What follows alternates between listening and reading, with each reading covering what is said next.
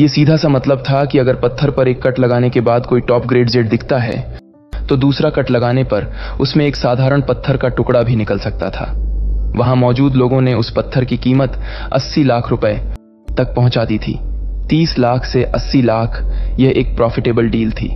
लेकिन विपिन को इससे कोई फ़र्क नहीं पड़ता था कि इसकी कीमत कितनी थी या फिर वह कोई ग्लास टाइप इंपीरियल जेट था या नहीं। विपिन ने सहज भाव से कहा सॉरी मैं इसे नहीं बेचने वाला। उसकी इस बात को सुनकर सभी लोग निराश हो गए। प्लीज़, आप इसे पूरा खोल दीजिए, विपिन ने स्टोन कटर से कहा। ठीक है, स्टोन कटर भी उत्साहित था। वह वर्षों से पत्थर काटने का काम कर रहा था, लेकिन उसे कभी इतना बड़ा मास्टरपीस पत्थर काटने का मौका नहीं मिला था। उसने खुद को शांत करने के लिए एक गहरी सांस ली और फिर चट्टान के उस टुकड़े की बाहरी परत को हटाने के लिए मशीनरी का इस्तेमाल किया। कुछ देर बाद चट्टान का वह टुकड़ा एक पत्थर कम और गहरे हरे रंग का चमकता हुआ एमरल्ड ज़्यादा लगने लगा। सीलिंग लाइट्स के नीचे वह म्यूज़ियम में रखी किसी नायाब चीज़ से कम नहीं लग रहा था। मास्टरपीस, ये एक मास्टरपीस है। ये बहुत सुंदर है। इसकी सुंदरता अलौकिक है। इस बच्चे ने जैकपॉट मारा है। इतने बड़े टुकड़े की आसानी से 30 या 40 करोड़ की कीमत मिल जाएगी। हर कोई जेड के उस टुकड़े की सुंदरता को देखकर चारों ओर जमा हो गया और उत्साह में चिल्लाने लगे। विपिन को एक अलग सम्मान की नज़रों से देखा जाने लगा। वह लड़की भी वहाँ स्तब्ध खड़ी थी। उसके लिए यह दृश्य मानो एक स्वप्न था। कुछ समय बाद उसने विपिन की ओर देखा, लेकिन इस बार उसकी नज़रों में सम्मान था। वह चार साल से जेड के व्यापार में थी, लेकिन उसने कभी इतना भाग्यशाली व्यक्ति नहीं देखा था। उसकी पहली प्रतिक्रिया विपिन से यह पूछने की थी कि क्या वह इंपीरियल जेट बेचना चाहता है? लेकिन जैसे ही शब्द उसकी जीभ के सिरे तक पहुँचे, उसे एहसास हुआ कि स्टोर इसे खरीदने का खर्चा नहीं उठा सकता था। विपिन बहुत खुश था कि उसने इतना सुंदर जेट देखा। उसने सोचा, मैं इस मास्टरपीस से तावीज नहीं बना सकता। यह बहुत बर्बादी होगी। मुझे इसका उपयोग आभूषणों के लिए करना चाहिए। हाँ मैं अहाना के लिए एक नेकलेस बना सकता हूँ। फिर वह उलझन में पड़ गया। चट्टान के उस टुकड़े को खरीदने के बाद उसका पैसा लगभग खत्म हो गया था। लेकिन उसे तावीज बनाने के लिए और जेड की ज़रूरत थी। उम, क्या मैं चारों ओर देख सकता हूँ? मुझे कुछ और पत्थर खरीदने हैं। उसने सिर खुजाते हुए अजीब तरीके से पूछा। क्यों नहीं? आपको जो पसंद हो, आप उसे चुन सकते हैं। पहले तो लड़की दंग रह गई, फिर उसने तुरंत जवाब दिया। ठीक है। विपिन ने एक बार फिर दुकान का चक्कर लगाया। दुकान के अन्य पत्थरों में ऊर्जा की मात्रा अधिक नहीं थी। लेकिन उसने फिर भी पाँच बड़े पत्थर उठाए, जिनकी कीमत चालीस से पचास हज़ार रुपए के बीच थी। फिर उसने उन्हें कटवाया। उनमें से दो पत्थर बर्फ़ की तरह पारदर्शी थे। तीसरा पत्थर भी बर्फ़ की तरह था, लेकिन उसमें कुछ अशुद्धियाँ थीं। चौथा, एक दुर्लभ लाल जेड था, और आखिरी पांचवा पत्थर पूरी तरह से हरा था। लेकिन बर्फ़ की तरह दिखने वाले पत्थरों की तुलना में कम कीमती था। इन परिणामों ने वहाँ मौजूद सभी लोगों को चौंका दिया। जब उसे ग्लास टाइप इंपीरियल जेड मिला तो सभी ने सोचा कि यह लड़का भाग्यशाली है। लेकिन लगातार पाँच टॉप ग्रेड जेड को एक साथ देखकर लोग समझ गए कि यह सिर्फ़ भाग्य नहीं हो सकता था। यह लड़का ज़रूर एक असली पेशेवर है। हाँ तुमने सही कहा। पाँच पत्थरों में से तीन आइस टाइप पत्थर मिलना अविश्वसनीय है। वहाँ मौजूद सभी लोग हैरान थे। आइस टाइप जेड आम नहीं था, और एक दिन में तीन पत्थर मिलना एक अद्वितीय घटना थी। हे छोटे भाई, ये मेरा बिज़नेस कार्ड है। आप मुझे कभी भी याद कर सकते हैं। अरे भाई, क्या आप मुझे बता सकते हैं कि आपके पास कौन सा रहस्य है? कुछ लोगों का समूह उसके चारों ओर जमा हो गया और उत्सुकता से सभी अपना अपना परिचय देने लगे। विपिन ने आइस टाइप जेड में से एक को सत्तर लाख रुपए में बेच दिया और हरे रंग के जेड को पचपन लाख रुपए में एक बुज़ुर्ग ने खरीद लिया। इन दोनों पत्थरों की कुल कीमत उसे लगभग एक करोड़ बीस लाख रुपए मिली थी। मिस्टर विपिन, मेरा नाम भारती है। प्लीज़ आप हमारे गैम्बलिंग स्टोर में विज़िट करते रहिएगा। उस लड़की ने अपना नाम कार्ड देते हुए कहा। ऑफ़ कोर्स, विपिन मुस्कुराया। इसके बाद उसने अपने सभी जेड पत्थरों को पैक कराया और स्टोन गैम्बलिंग स्टोर से बाहर निकल गया। स्टोर से कुछ दूर जाने के बाद, जब उसे कोई नहीं देख रहा था तो उसने उन सभी जेड पत्थरों को स्टोरेज मोती में रख लिया। फिर उसने अपने फ़ोन पर प्रभास का नंबर डायल किया और उससे पूछा कि क्या वह किसी जेड कारीगर को जानता है? तुम ऐसा क्यों पूछ रहे हो विपिन? प्रभास थोड़ा उत्सुक था। हम, मैं अभी जेड बाज़ार में एक स्टोन गैम्बलिंग स्टोर पर गया था। वहाँ मुझे कुछ अच्छे जेड के टुकड़े मिल गए थे। तो अब मैं उनसे कुछ अच्छी आभूषण बनवाना चाहता हूँ। Stone gambling store? वाह, तुमने मुझे साथ में चलने के लिए क्यों नहीं बुलाया? ऐसा लगता है कि तुम बहुत लकी हो। प्रभास हंस पड़ा। हाँ शायद मैं थोड़ा लकी था। तुमने मुझसे पूछकर सही काम किया। मैं एक अच्छे कारीगर को जानता हूँ। उसका काम वाकई अद्भुत है। उसकी काम के बारे में कोई शिकायत नहीं है। वह एक असली मास्टर शिल्पकार है। मैं तुम्हें बाद में उससे मिलवाऊँगा। ठीक है। वैसे तुम्हें किस तरह का जेड मिला? कुछ खास नहीं, बस एक glass type imperial jade Vipin ने सामान्य भाव से कहा।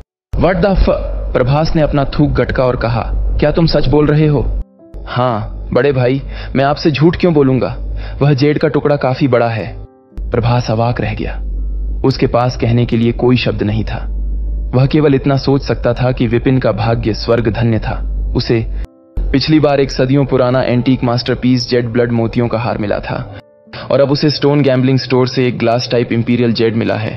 ठीक है, विपिन, क्योंकि अब तुम्हें एक बड़ा जेड मिला है तो क्या तुम इसमें से मेरे लिए भी कुछ बचा सकते हो? देखो, मैं बस अपने लिए एक छोटी सी अंगूठी बनवाना चाहता हूँ। बस छोटी सी। एक बार इसके बारे में सोचो। इंपीरियल जेड की एक अंगूठी कितनी शानदार लगेगी। चिंता मत करो, मैं इसकी पूरी कीमत चुकाऊँगा। ओके, विपिन ने जवाब दिया। ठीक है तो। मैं जल्द ही उस कुशल मास्टर शिल्पकार से संपर्क करूँगा। अगर उसे पता लगा कि तुम्हारे पास एक मास्टरपीस है तो वह चुप नहीं बैठ पाएगा। इसके बाद प्रभास ने कॉल कट कर दी। कुछ समय बाद उसने फिर से फ़ोन किया। विपिन, मैंने उससे मीटिंग फिक्स कर दी है। वह कल सुबह आएगा और हमसे मिलेगा। ठीक है, थैंक्स, बिग ब्रो, विपिन ने कहा और कॉल कट कर दी। अगली सुबह प्रभास विपिन को विला से लेने आया। उसके बाद वे दोनों साथ में उस मास्टर शिल्पकार से मिलने निकले। कुछ देर बाद वे एक कॉफ़ी शॉप पहुँचे, जहाँ मास्टर शिल्पकार पहले से ही बैठा हुआ था।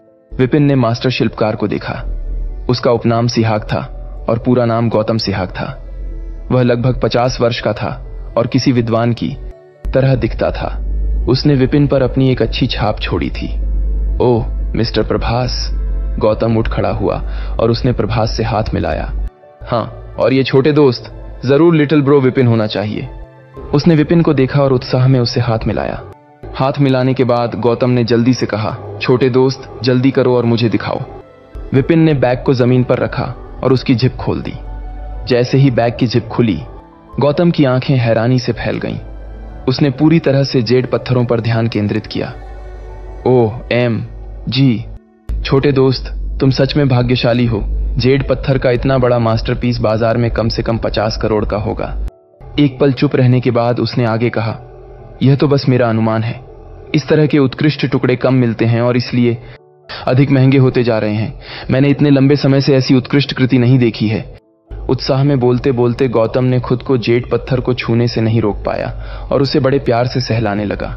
मास्टर गौतम, मुझे आप पर भरोसा है, विपिन ने सम्मानपूर्वक जवाब दिया। ठीक है, चिंता मत करो। मैं निश्चित रूप से इस तरह के एक उत्कृष्ट टुकड़े से सही उत्कृष्ट कृति बनाने के लिए हर संभव प्रयास करूँगा, गौतम ने कहा। ओह, वैसे छोटे दोस्त, तुम्हारा जेट पत्थर बहुत बड़ा है। इसलिए इसके बहुत सारे नायाब सामान बनाए जा सकते हैं। क्या तुम्हारे दिमाग में कुछ आइडियाज़ हैं कि तुम इसके साथ किस तरह की एक्सेसरी बनवाना चाहते हो? ब्रेसलेट, नेकलेस, अंगूठियाँ या झुमके? या फिर तुम इसे किसी के लिए कस्टमाइज करवाना चाहते हो? विपिन ने सोचा और जवाब दिया, मैं इसे कस्टमाइज करवाना चाहता हूँ। मुझे ब्रेसलेट, नेकलेस जैसी कुछ चीज़ें चाहिए। या फिर एक पूरा सेट भी बनवाना चाहूँगा। ओह हाँ बड़े भाई प्रभास भी अपने लिए एक अंगूठी बनवाना चाहते हैं। यह सुनकर प्रभास ने मुस्कुराते हुए कहा, मास्टर गौतम, मैं तुम्हें अपनी फिंगर का साइज़ दे दूँगा। गौतम ने सिर हिलाया और कहा, ठीक है, मैं समझ गया। वैसे छोटे दोस्त, तुम इसे किसके लिए कस्टमाइज करवाना चाहते हो? क्या तुम्हारे पास उसकी कोई तस्वीर होगी? सबसे सही एक्सेसरीज जिसके लिए बन रही हैं, उसका उपस्थिति होना ज़रूरी है। लेकिन तुम्हारे लिए मैं तस्वीर से भी काम चला लूँगा। विपिन ने अपने फ़ोन की स्क्रीन ऑन की और अहाना की एक तस्वीर दिखाई। गौतम ने एक लंबी नज़र डालने के बाद सोच समझकर सिर हिलाया। मान लीजिए कि यह हो गया। मैं इस चुनौती को स्वीकार करता हूँ। छोटे दोस्त, मैं कुछ डिज़ाइन के साथ आऊँगा और फिर इस पर आगे चर्चा करूँगा। जहाँ तक जेड की बात है तो तुम्हें इसे मुझे देना चाहिए। फिर गौतम ने आगे कहा मेरे अनुमान से एक्सेसरीज का एक सेट बनाने में ज़्यादा समय नहीं लगेगा और एक सेट बनाने के बाद भी काफ़ी जेड बच जाएगा। उसके बाद तीनों ने कॉफ़ी का ऑर्डर दिया और खुशी खुशी बात करने लगे। उनकी बातचीत के बीच में विपिन ने अचानक सोचा और कहा, वैसे, मास्टर गौतम, मेरी एक और छोटी सी रिक्वेस्ट है। क्या आप अलग से एक और ब्रेसलेट बना सकते हैं और इस मोती को उसके अंदर रख सकते हैं? यह कहते हुए विपिन ने अपना दाहिना हाथ उठाया और शर्ट से ढकी हुई बाजू को ऊपर करते हुए मोतियों के हार को दिखाया। हाय! मोतियों के हार को देख गौतम ने अचानक ठंडी सांस ली। यह, क्या यह सदियों पुराना एंटीक जेट ब्लड मोती है? वह हैरानी में उठ खड़ा हुआ। उसके चेहरे पर अविश्वास छा गया था। आप सही हैं। यह सदियों पुराना एक एंटीक जेट ब्लड है। मैं एक मोती निकालकर उसे एक ब्रेसलेट में बदलना चाहता हूँ। आपको क्या लगता? है, मास्टर गौतम? विपिन ने पूछा। मास्टर गौतम का दिमाग ब्लैंक हो चुका था। उसे ना कुछ सुनाई दे रहा था और ना ही कुछ दिखाई दे रहा था। उसकी चमकती हुई आँखें मोतियों के हार पर अटकी हुई थी। वह खुद को फिर से तैयार करने से पहले थोड़ी देर के लिए रुका और आह भरी। मुझे आज दो उत्कृष्ट जेड पत्थरों को देखने की उम्मीद नहीं थी। पहला ग्लास टाइप इंपीरियल जेड और दूसरा उससे भी नायाब सदियों पुराना जेड ब्लड मोती। ये दोनों ही अमूल्य खजाने हैं जो सभी जेड प्रेमियों का सपना होता है। उसने विपिन को ऐसे देखा जैसे वह किसी महान इंसान को देख रहा हो। छोटे दोस्त, सच में, तुम कोई साधारण इंसान नहीं हो। नहीं, मास्टर गौतम, आप मेरी कुछ ज़्यादा ही तारीफ़ कर रहे हैं। मेरी बस थोड़ी किस्मत अच्छी थी, विपिन ने मुस्कुराते हुए कहा। गौतम ने मोतियों के हार का मूल्यांकन करते हुए मुस्कुराया और कहा, छोटे दोस्त, तुम इसमें से एक मोती क्यों निकालना चाहते हो? इस हार में कुल बारह मोती हैं। अगर एक भी निकला तो यह अधूरा रहेगा। कोई बात नहीं। विपिन ने जवाब दिया। असल में, राघव बत्रा अभी तक पकड़ा नहीं गया था। उसने डीआईजी मिथिलेश से आहाना के लिए कुछ पुलिस अधिकारियों की व्यवस्था करने के लिए कह दिया था, लेकिन वे उसकी चौबीसों घंटे रक्षा नहीं कर सकते थे। कभी ना कभी कोई चूक हो सकती थी। इसलिए, विपिन जेड ब्लड का एक मोती निकालकर उसे आहाना की सुरक्षा के लिए देना चाहता था। इन मोतियों में रक्षात्मक शक्तियों के साथ साथ आध्यात्मिक शुद्ध ऊर्जा भी थी जो अपने मालिक की रक्षा कर सकती थी। इसके अलावा यह बुरी आत्माओं और दुष्ट बलाओं को भी दूर करती थी। अगर पहनने वाले पर अचानक हमला होता तो यह रक्षा करने में भी सक्षम था। ठीक है तो फिर मैं एक और ब्रेसलेट बना दूँगा और उसमें एक जेड मोती भी लगा दूँगा। उन लोगों ने कुछ और देर बातचीत की। इसके बाद गौतम अपने शहर लौटने के लिए तैयार हुआ और विदा होने के बाद विपिन और प्रभास कार की ओर चल दिए। तभी अचानक प्रभास के फ़ोन की घंटी बजी। हेलो, प्रभास ने फ़ोन उठाया।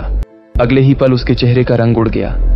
विपिन ने फ़ोन के दूसरे छोर पर किसी को रोते हुए सुना, प्रभास भाई, मैं बर्बाद हो गया हूँ। हवेली में किसी की मौत हो गई। क्यों? क्या हुआ? भाई, मैंने आपको पहले भी हवेली के भूतिया होने के बारे में बताया था। पहले मुझे विश्वास नहीं हुआ, लेकिन कल रात कुछ ऐसी घटना घटी कि हवेली में रहने वाले युवा जोड़े की मृत्यु हो गई। उनकी मौत बेहद भयावह थी। पति ने खुद को मारने से पहले पत्नी पर लगभग दस बार वार किया था। उसकी डेड बॉडी लहूलुहान थी और चारों ओर खून ही खून बिखरा पड़ा। था, हे भगवान, वो बहुत ही भयानक दृश्य था। अपने माथे को कसकर पकड़ते हुए प्रभास ने जवाब दिया, क्या तुम्हें पूरा यकीन है कि यह सब किसी दुष्ट आत्मा की वजह से था, न कि कोई प्रिप्लान मर्डर? बेशक, मैंने इसकी पूरी तहकीकात की। मैं कल रात कुछ समय के लिए वहीं था और आधी रात को अजीबो गरीब डरावनी आवाज़ें सुनी। फिर मैंने एक भूत की छाया देखी, जो सीधे मेरी तरफ़ बढ़ रही थी। मैं लगभग मरने ही वाला था। सौभाग्य से मैं तेज़ी से भाग गया, वरना मेरा काम तमाम हो जाता। मैंने इस भूत को भगाने के लिए एक तांत्रिक को बुलाया है। क्या आप आना चाहते हैं, प्रभास भाई? यह प्रभास हिचकिचाया। बड़े भाई, चलो इसे देखने चलते हैं, विपिन ने कहा। विपिन को भूतों और आत्माओं में कुछ रुचि थी। अपनी बढ़ी हुई शक्तियों के साथ वह उन चीज़ों को देख सकता था, जो आम लोग आमतौर पर नहीं देख सकते थे। पिछले कुछ दिनों में विपिन ने कई बार भटकती हुई आत्माओं को देखा था जब वह रात में जादू टोना करता था। लेकिन वे बुरी आत्माएँ नहीं थीं, इसलिए विपिन ने भी उनसे कुछ नहीं कहा। वास्तव में, अधिकांश आत्माएँ आमतौर पर हानि रहित होती थीं। बुरी आत्माएँ ही थीं, जो लोगों को परेशान और नुकसान पहुंचाती थीं। क्यों? विपिन, क्या तुम्हें इसमें भी दिलचस्पी है? प्रभास ने हैरान आवाज़ में पूछा। मुझे थोड़ी दिलचस्पी है। मैं इस बारे में काफ़ी उत्सुक हूँ कि तांत्रिक भूतों को कैसे भगाता है। विपिन ने जवाब दिया, दरअसल मुझे खुद भूत भगाने का कुछ अनुभव है। प्रभास ने पलक झपकाते हुए विपिन की ओर देखा और कहा, क्या तुम इसके बारे में भी जानते हो? रुको, नहीं, वैसे तुमने भूतों को भगाना कब सीखा? मैंने आपको बताया था कि मुझे पिछली बार पहाड़ से कुछ प्राचीन किताबें मिली थीं। उन पुस्तकों में से एक में भूत भगाने की बात भी दर्ज थी। विपिन ने विश्वास के साथ कहा। प्रभास का दिमाग ब्लैंक हो गया। और वह उसे ऐसे देख रहा था जैसे भूत वहाँ भूतियाँ हवेली में नहीं, बल्कि उसके सामने खड़ा हो। चलो, चलते हैं, बड़े भाई, विपिन ने कार में बैठते हुए कहा। यह लड़का बहुत अजीब है। प्रभास ने उलझन में अपने सिर के पिछले हिस्से को खरोंचा फिर वह कार की ड्राइविंग सीट पर बैठ गया। इसके बाद वे दोनों वहाँ से निकल गए। फ़ोन करने वाला व्यक्ति नाम मुन्ना था, जो प्रभास का एक दूर का रिश्तेदार था। मुन्ना घरों को फिर से बेचकर और किराए पर देकर आजीविका कमाता था। और यह भूत वाली घटना उसी के नाम एक हवेली में हुई थी। हवेली नूह ज़िले के नॉर्थ ईस्ट में ग्रेट पीक माउंटेन के एक दूर दराज के क्षेत्र में स्थित थी। यह भारतीय गणराज्य के समय से एक पश्चिमी शैली हवेली थी, जिसमें एक लंबे इतिहास की अफवाहें थीं। हवेली खरीदने के बाद मुन्ना को काफ़ी लंबे समय से कोई किराएदार नहीं मिला था, इसलिए उसने छुट्टियों पर आए टूरिस्ट्स को हवेली किराए पर देने का फैसला किया। 20 मिनट से अधिक समय तक गाड़ी चलाने के बाद वे ग्रेट पीक माउंटेन पहुँच गए। पहाड़ी सड़क के बाद उन्होंने जल्द ही एक हवेली देखी, जो पहाड़ के आधे रास्ते पर फैली हुई थी। यह भारतीय शैली में बनी हवेली थी, जो उत्तम दर्जे की, क्लासी और आकर्षक लग रही थी। इसके समृद्ध इतिहास के साथ यह थोड़ी पुरानी और प्रतिष्ठित भी लग रही थी। हवेली के दोनों तरफ़ एक प्राकृतिक सुंदरता का दृश्य था।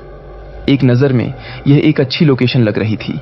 हालाँकि, विपिन की नज़रों में जो दृश्य आया, वह बिल्कुल विपरीत था। यह स्पष्ट रूप से एक धूप वाला दिन था, लेकिन हवेली का मुख्य गेट एक उदास छाया में डूबा हुआ था। हवेली को अच्छे से देखने के बाद उसने इसके चारों ओर एक घनी और अशुभ भूतियाँ आभा का पता लगाया। ऐसा लगता है कि कोई भूत है, विपिन ने खुद से कहा। जैसे ही उनकी कार हवेली के सामने पहुँची, उन्होंने एक कार देखी, जो पहले से ही वहाँ पर रुकी हुई थी। गाड़ी के बगल में दो इंसानी परछाइयाँ खड़ी थीं। उनमें से एक सूट पहने थोड़ा मोटा अधेड़ उम्र का आदमी था, जबकि दूसरा तांत्रिक बाबा था। तांत्रिक बाबा दुबला पतला था और उसने आठ त्रिग्राम प्रतीक के छपे वस्त्र पहने हुए थे। उसने सिर पर एक काले रंग का कपड़ा बांधा हुआ था, जो उसके राशि मुनि जैसे रूप को प्रदर्शित कर रहा था। उसका व्यवहार महान पवित्रता वाले व्यक्ति जैसा था। जैसे ही गाड़ी रुकी, अधेड़ उम्र का आदमी उनके पास आया और कहा, भाई प्रभास अच्छा हुआ, आप आ गए। और ये छोटे दोस्त कौन? मेरा नाम विपिन है। विपिन गाड़ी से बाहर निकला और उस आदमी से हाथ मिलाया। मुन्ना, तुम्हें यह तांत्रिक बाबा कहाँ से मिला? क्या उस पर विश्वास किया जा सकता है? प्रभास कार से उतरते हुए तांत्रिक बाबा की ओर देखने लगा। हाँ उस पर विश्वास किया जा सकता है। उसने मुझे हवा से कुछ निकाल कर दिखाया था। सच में, काश आप उस चमत्कार को देख पाते। वह एक चमत्कारी बाबा है। मुन्ना तांत्रिक बाबा से पूरी तरह प्रभावित था। और हाँ प्रभास भाई, वह अरावली पर्वत श्रृंखला से हैं। आप जानते हैं कि अरावली पर्वत श्रृंखला के बाबा कितने प्रसिद्ध हैं। ओह, अरावली पर्वत श्रृंखला। प्रभास के चेहरे की अभिव्यक्ति थोड़ी अधिक सम्मान में बदल गई। मेरा नाम प्रभास है। मैं आपको क्या कहकर बुला सकता हूँ, बाबा? प्रभास ने तेज़ी से आगे बढ़ते हुए गर्मजोशी से कहा, मैं मुकुंद बाबा, भोले बाबा का एक भक्त अनुयायी हूँ। तांत्रिक बाबा ने अपनी लंबी दाढ़ी को छूते हुए उदासीनता से जवाब दिया, मुकुंद बाबा, आपसे मिलना मेरे लिए सौभाग्य की बात है। प्रभास ने झुकते हुए उसे सम्मान दिया। तांत्रिक बाबा ने थोड़ा सिर हिलाया और जवाब दिया, ठीक है बालक, मेरे अंदर जाने का समय आ गया है। चिंता मत करो, चाहे वह किसी भी प्रकार का भूत हो, स्त्री या पुरुष भूत। दुनिया में नफरत से पैदा हुई आत्मा या मौत के बाद नफरत बनाए रखने वाला प्रेत वो सभी मेरे हाथों से विनाश का शिकार होंगे। ये कहने के बाद उसने अपनी लंबी बाहें उठाई और हवेली की ओर बढ़ गया। विपिन और बाकी लोग भी उसका अनुसरण करने लगे। तभी तांत्रिक बाबा ने मुड़कर कहा तुम लोगों को मेरे साथ नहीं आना चाहिए। आत्माओं से लड़ना एक खतरनाक काम है। अगर तुम लोगों को भूतों ने वश में कर लिया तो बहुत बड़ी गड़बड़ हो जाएगी। यह सुनकर मुन्ना काँप गया और आगे बढ़ने में असमर्थ होकर अपनी जगह पर रुक गया। फिर फिर मैं यहीं रहूँगा। उसका शरीर डर से कांपने लगा था। प्रभास ने मुन्ना को आँखें घुमाते हुए देखा और डांटा, मुन्ना, डरना बंद करो। तुम इतना क्यों काँप रहे हो? भाई, मुझे डर लग रहा है। आपको पता नहीं है कि कल रात कितनी भयानक थी। मैं लगभग मरने ही वाला था। मुन्ना ने डर से कांपते हुए कहा। डर की वजह से उसके दांत भी किटकिटाने लगे थे। इस बीच विपिन ने कहा, कोई बात नहीं तांत्रिक बाबा, दरअसल मुझे भी भूत भगाने में दिलचस्पी है। मैंने खुद थोड़ा सीखा है। इसलिए मैं देखना चाहता हूँ। तांत्रिक बाबा ने उसकी ओर देखा और उसका उपहास उड़ाते हुए कहा, लड़के, क्या तुम मुझे मूर्ख बना रहे हो? तुम अभी एक मंदबुद्धि हो। और तुम्हें क्या लगता है कि भूत भगाना कोई बच्चों का खेल है? मुझे लगता है कि तुमने इंटरनेट पर कोई उलझलुल भूत भगाने वाली कहानी पढ़ ली होगी। और अब तुम खुद को भूत भगाने वाला कोई विशेषज्ञ समझ रहे हो। तुम्हारी भलाई इसी में है कि तुम इन भूत प्रेतों के लफड़े में ना पड़ो। तांत्रिक बाबा की बात सुनकर भी विपिन पर कोई फ़र्क नहीं पड़ा और उसने जवाब दिया, कम से कम, मैं आपको तो भूत भगाते हुए देख सकता हूँ, है ना? ये बोलते हुए उसकी आँखें तांत्रिक बाबा पर गड़ी हुई थीं। विपिन ने जब तांत्रिक बाबा की ऊपर से नीचे तक जाँच की तो उसने तांत्रिक बाबा के शरीर से निकलने वाली शुद्ध ऊर्जा को महसूस किया, जिसका मतलब था कि वह कोई ठग या फ्रॉड बाबा नहीं था। हालाँकि, उसके शरीर से निकलने वाली शुद्ध ऊर्जा बहुत कमज़ोर थी। इसका मतलब यह था कि बाबा की शक्तियों का आधार बेहद कमज़ोर था। शायद वह ज्ञान चक्र के शुरुआती चरण में था। दूसरे शब्दों में कहें तो तांत्रिक बाबा की तुलना में विपिन अधिक काबिलियत रखता था। मणिपुर चक्र के मध्य चरण में प्रवेश करने के बाद से, विपिन आत्मिक पत्थरों से आध्यात्मिक ऊर्जा को अवशोषित कर रहा था। उसकी शक्तियों का स्तर दिन प्रतिदिन बढ़ता जा रहा था और वह जल्द ही मणिपुर चक्र के अंतिम चरण में भी प्रवेश कर लेगा।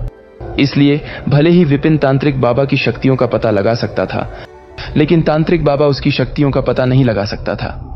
तांत्रिक बाबा के लिए विपिन एक साधारण व्यक्ति से ज़्यादा कुछ नहीं था। तांत्रिक बाबा की भौहें थोड़ी सिकुड़ गईं और उसने मजबूरी में सिर हिलाते हुए कहा, ठीक है ठीक है, मैं जो कुछ भी कहूँगा, वह वैसे भी तुम्हारे दिमाग में नहीं घुसने वाला। लेकिन याद रखना, तुम्हें हर वक्त सावधान रहना होगा और मेरे पीछे ही रहना, गलती से भी इधर उधर भटक मत जाना। यह कहने के बाद उसने मुड़कर हवेली का मुख्य दरवाज़ा खोल दिया। बड़े भाई, चलो। विपिन ने तांत्रिक बाबा के पीछे पीछे हवेली में प्रवेश किया। मुन्ना, अब भागने की सोचना भी मत। मर्द बनो ना कि सिर दर्द। प्रभास ने मुन्ना को घसीटते हुए हवेली में ले गया। नहीं नहीं, भाई, मुझे डर लग रहा है। मुन्ना ने दरवाजे को कसकर पकड़ लिया और उसका चेहरा आंसुओं से भर गया। यार, तुम तो सच में बहुत बड़े डरपोक हो!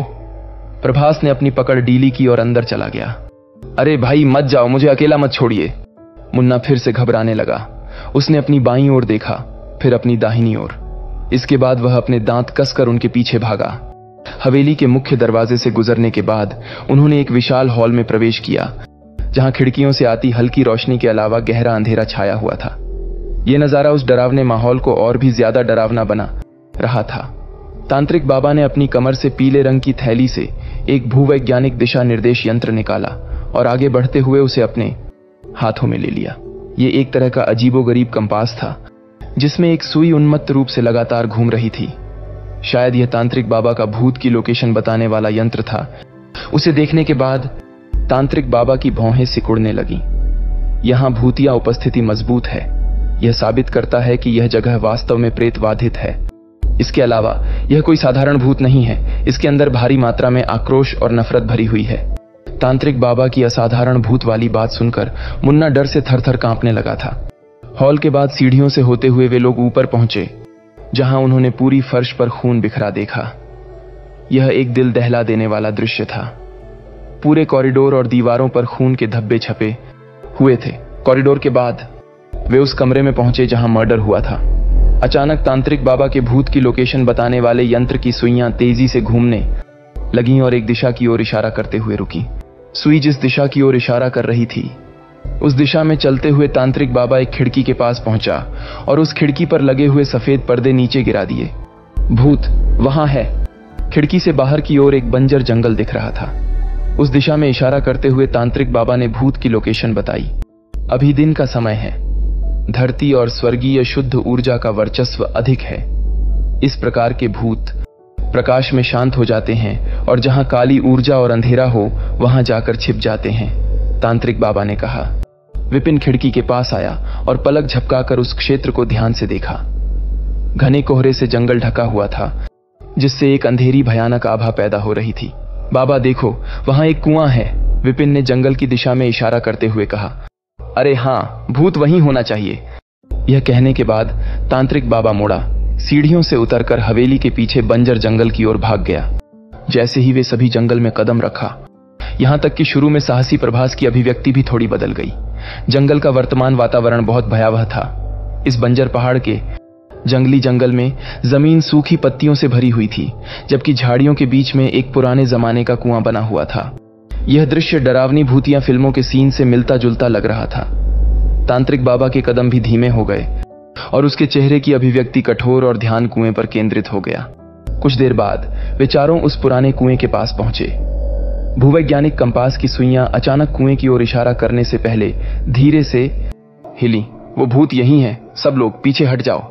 तांत्रिक बाबा ने अपने भूवैज्ञानिक दिशा निर्देश यंत्र को दूर रखा और अपनी कमर में बंधी थैली खोली। उसने दो लाल चमड़ी वाले लोकी जैसे मटकों को निकाला और अपनी कमर में चारों ओर लपेट लिया। फिर उसने एक मुट्ठी भरकर पीले ताबीज निकाले और धीरे धीरे पुराने कुएँ की ओर चला गया।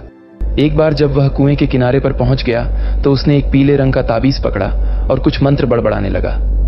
फिर उसने अपने हाथ की मुट्ठी में फूंक मारी, तभी अचानक पीले रंग का ताबीज आग की लपटों में गिर गया। इसके तुरंत बाद उसने जलते हुए ताबीज को कुएँ में फेंक दिया। अगले ही पल कुएँ से एक दिल दहला देने वाली ऊँची आवाज़ में चिल्लाहट उठी, जो पूरे जंगल में गूंजने लगी। फिर कुएँ से काले कोहरे का एक झोंका निकला और सीधे तांत्रिक बाबा की ओर बढ़ा। जैसे जैसे काला कोहरा आगे बढ़ रहा था, उसके अंदर से एक धुंधली सफ़ेद परछाई बाहर निकलती हुई दिखाई देने लगी। वह परछाई एक सफ़ेद पोशाक पहनी महिला चुड़ैल के रूप में बदल गई, जिसके घने लंबे काले बाल हवा में नृत्य करते हुए उसके अधिकांश घातक पीले चेहरे को ढक रहे थे। उनके बीच से केवल एक जोड़ी भयानक, रक्त की तरह लाल पुतलियाँ नज़र आ रही थीं। वह एक तेज भयानक आवाज़ में चिल्लाई, जो पूरे जंगल में गूंजते हुए उन चारों के कानों के पर्दों को फाड़ने लगी। अचानक बंजर जंगल में भयानक चीखों के साथ तेज काली हवाएँ चलने लगीं। तभी उस चुड़ैल ने अपने उल्टे नुकीले पंजों की मदद से तांत्रिक बाबा की छाती पर वार किया। चुड़ैल के भयानक और आक्रामक रूप को देख मुन्ना ने लगभग अपनी पेंट गीली कर ली और वह भागकर एक पेड़ के पीछे छिप गया। जब उसने चुड़ैल को तांत्रिक बाबा पर हमला करते देखा तो उसकी आँखों की पुतलियाँ उल्टी हो गईं और वह बेहोश होकर धड़ाम से नीचे गिर गया। धिक्कार है डरपोक इंसान। प्रभास ने उसे कोसते हुए अपने दिल में कहा, चुड़ैल को अपने ऊपर हमला करते देख, तांत्रिक बाबा के चेहरे की अभिव्यक्ति बदल गई, और वह ज़ोर से हंसा, तुम्हारा दुर्भाग्य, जो तुमने मेरे ऊपर हमला किया, चुड़ैल, अब तू मरने के लिए तैयार हो जा। ईम भीम भव सुहा कुछ मंत्रों को बड़बड़ाते हुए, उसने एक पीले रंग के ताबीज को हिलाते हुए फटकारा। अचानक पीले रंग का ताबीज आग की लपट्टों में गिर गया। इसके तुरंत बाद तांत्रिक बाबा ने आग की लपट्टों में जलते हुए ताबीज को चुड़ैल के ऊपर फेंक दिया। चुड़ैल की आकृति एक सेकंड के लिए सुस्त हो गई और उसने ज़ोर से चिल्लाया, ईम, भीम, भवस सुहा ईम, भीम, भवस सुहा तांत्रिक बाबा ने लगातार कई पीले रंग के आग में जलते हुए ताबीजों को चुड़ैल के ऊपर फेंका। जलते हुए ताबीजों की वजह से चुड़ैल और भी ज़ोर से चिल्लाने लगी, लेकिन वह जलकर भस्म होने की बजाय और भी क्रोधित और उग्र होती जा रही थी। अरे, तू तो बहुत सख्त चमड़ी की है। अभी भी जलकर भस्म नहीं हुई? तांत्रिक बाबा हैरान रह गया। वह खुद को चुड़ैल को गाली देने से रोक नहीं सका। आमतौर पर, भूत उसके द्वारा फेंके गए ताबीजों की मदद से जलकर भस्म हो जाते थे। लेकिन यह चुड़ैल भस्म होने की बजाय उल्टा तांत्रिक बाबा को मारने पर उतारू थी। चुड़ैल, तेरी इतनी हिम्मत जो तूने मेरे ऊपर हमला किया? तांत्रिक बाबा ने मुँह से खून थूकते हुए कहा चुड़ैल ने उसे एक जोरदार लात मारी थी और वह अब थोड़ा घबराने लगा था। उसने तुरंत हल्के से खांसते हुए अपनी कमर में लटक रहे लोकी जैसे मटके का ढक्कन खोला और चुड़ैल पर कुछ पानी छिड़का। चुड़ैल, अब गंगा जल के शुद्ध पानी का मज़ा छक और इसके साथ काले कुत्ते के खून का भी मज़ा छक। तांत्रिक बाबा ने दूसरे लोकी जैसे मटके का ढक्कन खोला और चुड़ैल पर गहरा लाल खून छिड़का। इन दोनों शुद्ध गंगा जल और काले कुत्ते के खून का आत्माओं और भूतों पर कुछ निरोधक प्रभाव पड़ता था। फिर तांत्रिक बाबा ने अपनी पीठ में बंधी आड़ू की लकड़ी की तलवार निकाली और उसकी एक हथेली को काट दिया। अपनी आड़ू की लकड़ी की तलवार को खून से सनाकर उसने चुड़ैल पर वार किया।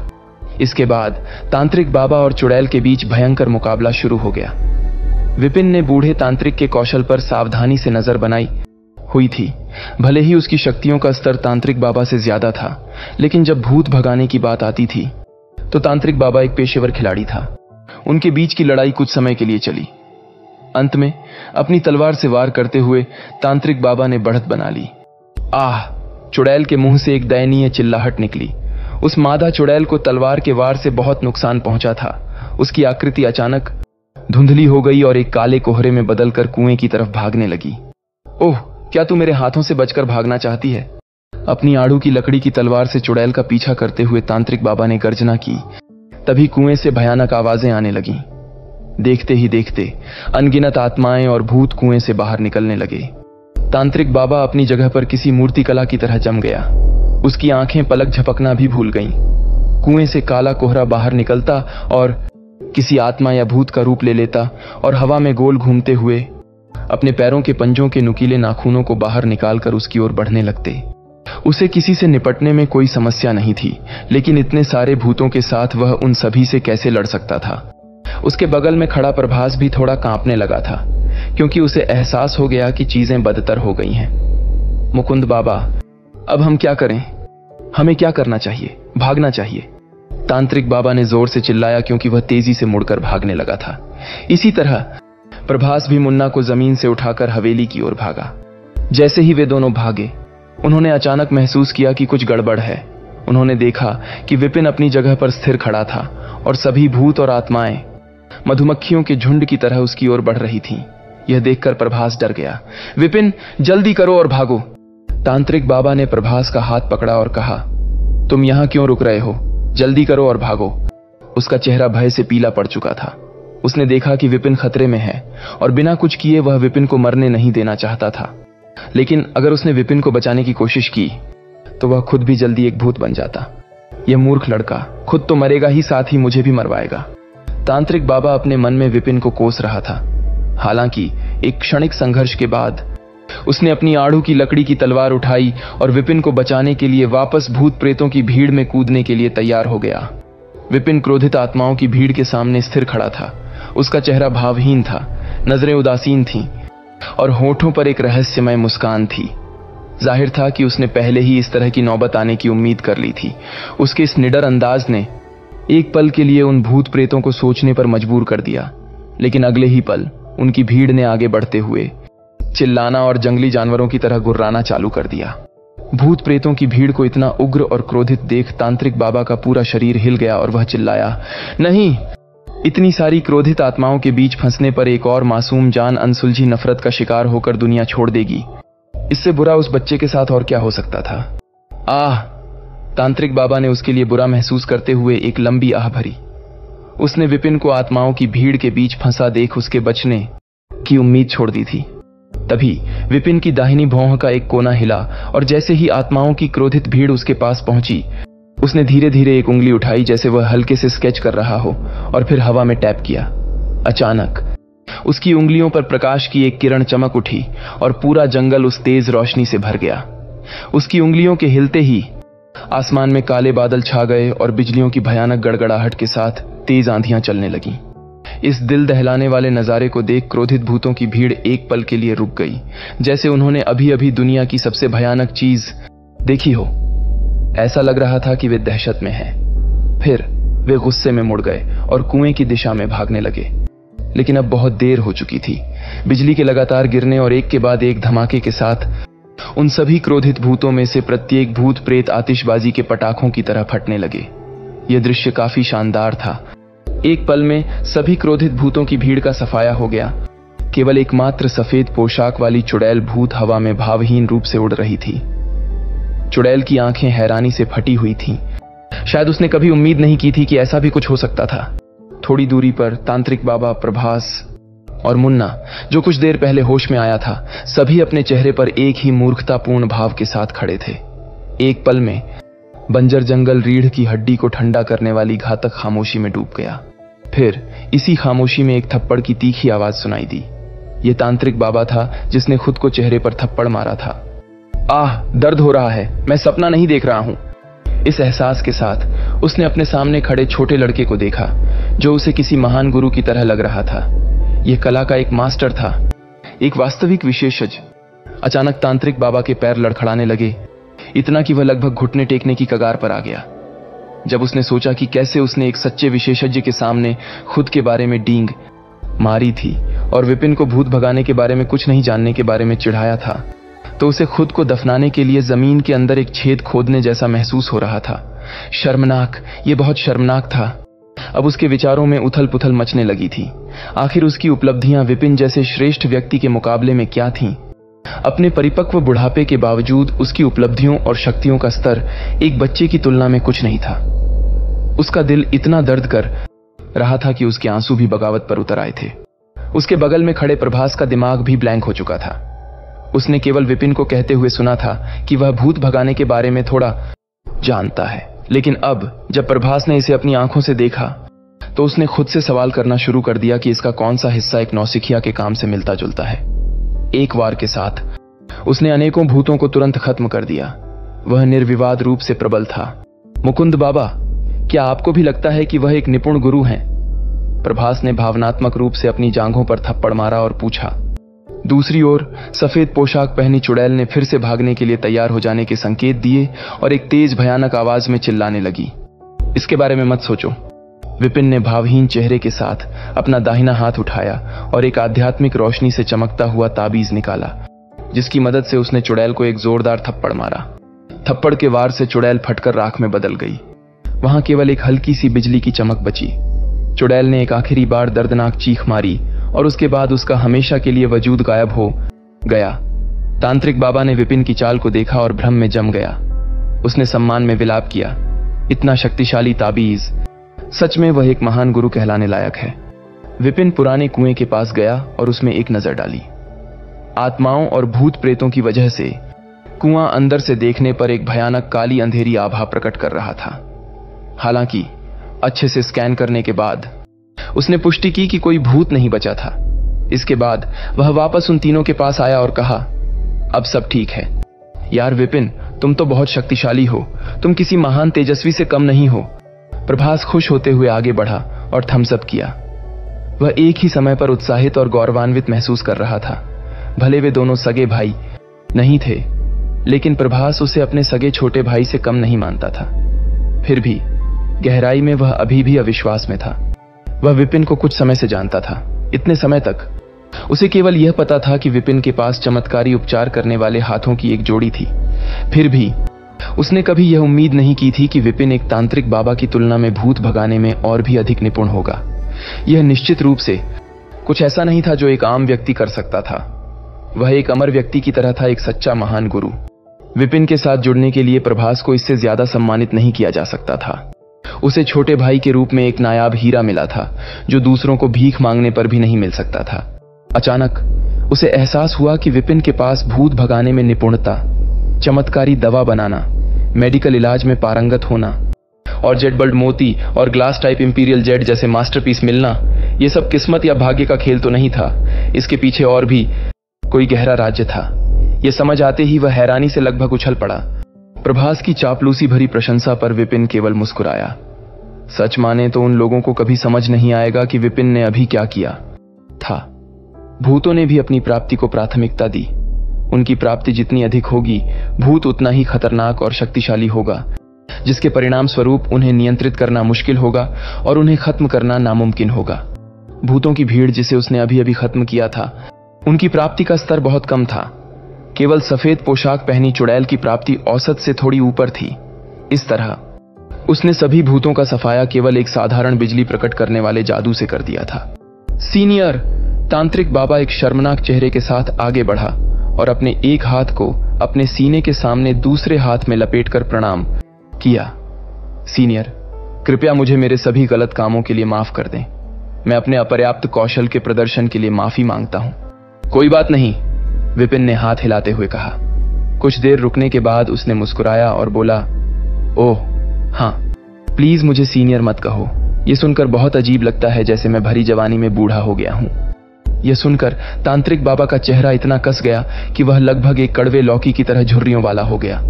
विपिन केवल अठारह वर्ष का था और वह पचास साल से अधिक उम्र का था। विपिन से लगभग चालीस साल बड़ा। फिर भी उसकी उपलब्धि अभी भी तुलनात्मक रूप से दयनीय थी।